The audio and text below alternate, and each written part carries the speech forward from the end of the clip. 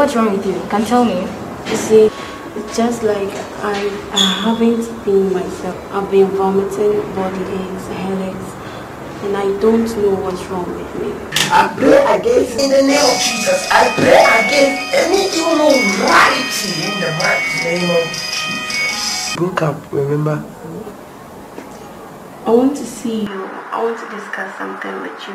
Are you available, please? Of course, of Of course, yes, I'm available. I'm, I'm, I'm available, yes. I can meet you. I can meet you, so. You called me. You said you wanted to see me. Yes, I called you. Okay, I'm pregnant. Eh? I'm pregnant. What? What? Pregnant? Calm down. Right now. What are you going to do? Just, just, just. I did it once.